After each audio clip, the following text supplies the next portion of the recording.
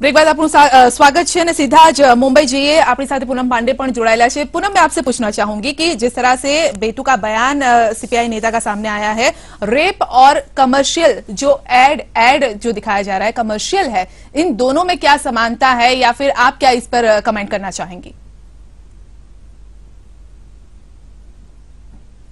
आप मुझे एक बात बताइए मुझे एक बात बताइए ये कनेक्शन कहाँ से होता है कि कोई पॉन फ़िल्म देख ले या कोई अश्लील चीज़ें देख लिया तो यहाँ से यहाँ से रेप का कनेक्शन कहाँ पे है?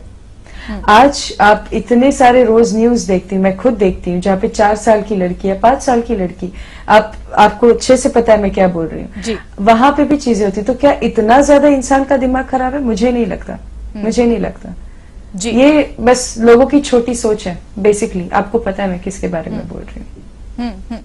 જી જી અશોકભાઈ જે રીતે પૂનમ પણ કહે છે કે ચાર વર્ષની પાંચ વર્ષની છોકરી છ છ મહિનાની છોકરી પર પણ રેપ થયેલા છે તો આ શું આ એડ જોઈને પછી રેપ થાય છે અને એવા લોકોને તો જાહેરમાં ફાંસી આપી દેવી જોઈએ એના હા. ઉપર કોઈ પણ મુકદમો ચલાવવો ના જોઈએ એવા લોકોનો ઉપર તરત જ ફાંસી આપી દેવી જોઈએ હું તો એનો આગ્રહ રાખું છું જી પણ થાય છે એવું કોઈ આપણા કોઈ દેશમાં પણ જે થાય છે? પરિવાર સાથે જે વસ્તુ જોવામાં આવતી હોય એની અંદર વલગરટી ઓછામાં ઓછી થાય એવું અમારું કહેવું છે. જી પરંતુ આમાં તો વલ્ગારિટી ક્યાંય દેખાઈ રહી કોમલ આપને લાગે છે આમાં વલ્ગારિટી છે? કોઈ વલ્ગર વસ્તુ આપને દેખાય હું એવું કહેવા માંગીશ કે દરેક માણસની એક ચોઈસ હોય છે. મારી ચોઈસ છે કે મારે નોનવેજ ખાવું કે ન ખાવું. અગર હું નોનવેજ નથી ખાતી એનો મતલબ એ નથી કે નોનવેજ ખાય એ લોકો ખરાબ છે. જી, જી, તમે એવી રીતે કહો છો કે તમે. પોન નથી જોતા એટલે પોન જોવા વાળા ખરાબ કે આવી એડવર્ટાઇઝ જોવા વાળા ખરાબ? એ વસ્તુ ગલત છે. જેને પસંદ છે ફોન જોવાથી માનસિકતા ખરાબ નહીં થાય? એ જેને જોવું છે જોવાથી માનસિકતા ખરાબ ના થાય? એ જે વાત છે. ફોન પર દેખી છે પણ ફોન ને મને આઈડિયા છે એટલે આઈડિયા એટલે કે અમે આનું રિસર્ચ કર્યું છે ફોનમાં બે થાય. એક તો ફોન ના લીધે કે જે લોકોની પેલી એકદમ પેલી ઉત્તેજના થઈ ગઈ હોય તો પોન જોઈને એક ઉત્તેજના દબાય. ને પોન નો ગેરલાભ એ છે કે જે લોકોની ઉત્તેજના થઈને જેને રિસર્ચ આરએનડી કરવાનો શોખ હોય એટલે porn is it's is like a knife knife સારા રીતે બી યુઝ થાય અને ખરાબ રીતે બી યુઝ થાય. એટલે પોન એવું છે એટલે એવું નથી કે પોન ખરાબ જ છે કે પોન સારું જ છે. આના માટે જેનો પર ખરાબ માનસિકતા થાય પછી એને સમાજને ભોગવવું પડે છે. અશોકભાઈ અશોકભાઈ पूनम पूनम मैं आपसे पूछना चाहूँगी कि क्या आपको इस एड में कुछ अश्लील लगा कुछ वल्गर लगा इसमें कुछ? वेल well, आप मुझे खुद बताइए मैंने भी वो टीवी कमर्शियल देखा है। आपने भी देखा होगा इनफैक्ट सभी ने देखा होगा। आप आपको क्या अश्लील लगा उस वीडियो में? मुझे तो कुछ भी नहीं लगा। आपके देखने का ही नज़रिया वैसा है तो आप टीवी कमर्शियल को क्यों कोसते हो? आप अपना नज़रिया बदलो। જી જી નજર નજરિયા બદલવાની જરૂર છે એ વાત અમે પણ માનીએ છીએ માનસિકતા બદલવાની જરૂર છે પરંતુ શું આ કેવી રીતે શીખવવું જોઈએ क्योंकि અ, જે રેપ કરે છે છોકરાઓ જ રેપ करता હોય છે पूनम आपसे पूछना चाहूंगी कि लड़के रेप करते हैं और इस तरह के बेतुके बयान जो है वो भी लड़के ही दे रहे हैं पूनम बहुत ज्यादा इनफैक्ट इंडिया में ये सबसे ज्यादा बचपन से ही लड़कों को सिखाना चाहिए कि आप औरतों की कैसी इज्जत करें ना कि बाहर इतने ज़्यादा लोगों के सामने आप जाके बोल दो वो पॉन स्टार है वो ये वो वो। ये किसी को राइट नहीं किसी भी लड़की के बारे में ऐसा बोलने की। जी जी। तो क्या आपको लगता है कि हमारा दृष्टिकोण हमारी हमारी जो मानसिकता है वो कहीं ना कहीं हमें बदलने की ज़रूरत है पूनम?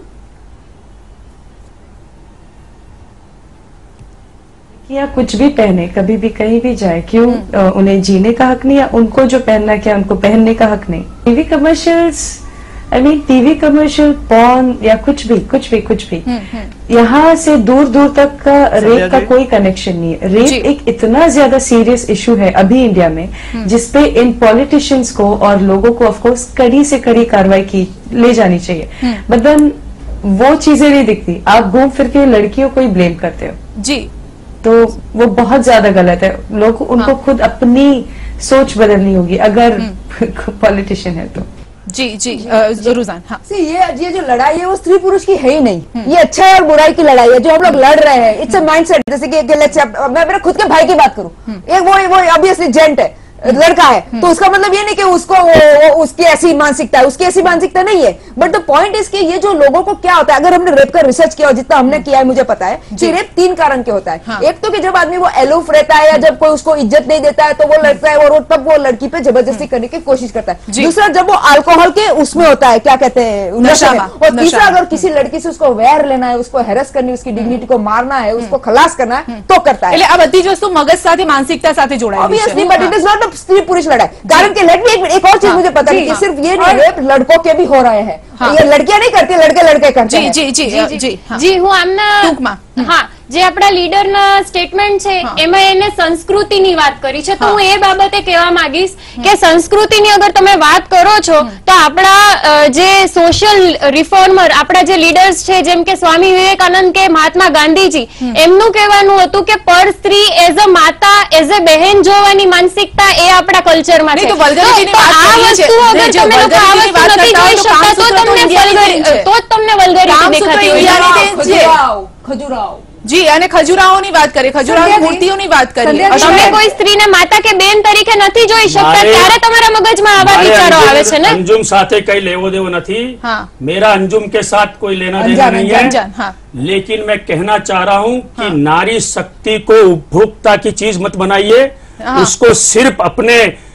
अपनी एड के बेचने के लिए हमेशा महिला को आगे मत कीजिए।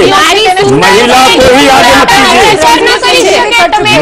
महिला सुंदरता का प्रचार अलग चीज़ है। लेकिन जैसा आप लोगों का आप लोगों का भी विरोध है कि एक स्प्रे की एड में एक स्प्रे की एक स्प्रे लगाने से अगर एक स्प्रे लगाने से दस लड़कियाँ अगर आकर अपने को ऐसे चिपकती हुई बताते हैं तो ये गलत है। ये नहीं। महिला का अपमान है मेरा इस बात का विरोध है हाँ। कि एक स्प्रे डालने से क्या दस नहीं। लड़कियां रोड पे जाती है दस लड़कियां तुमको आके चिपक नहीं, जाएगी नहीं, नहीं, नहीं, क्या नहीं, ऐसा अशोक ऐड भाई, होना अशोक चाहिए भाई, क्या તમારી महिला ડબલ का- महिलाओं को માનસિકતા इतना સામે नीचा આવી રહી છે. दिखाना ડબલ चाहिए માનસિકતા સામે આવી રહી છે नहीं, અશોકભાઈ કારણ કે आप- જે રીતે आप તમે सबका કહો यहाँ છો, बैठे हुए लोगों का भी ये સુંદરતાનો विरोध है। પ્રચાર, यहाँ સુંદરતાનો बैठे हुए પ્રચાર लोगों का જેવું भी ये કહો છો विरोध તમે. है। સુંદરતાનો क्या ऐसी ऐड પ્રચાર होना જેવું चाहिए? કહો છો તમે क्या ऐसी ऐड होनी चाहिए कि एक स्प्रे लगाते हैं और चार लड़की आपको चाके चिपक जाती है। तो ये महिलाओं का अपमान है। ये महिलाओं का अपमान है।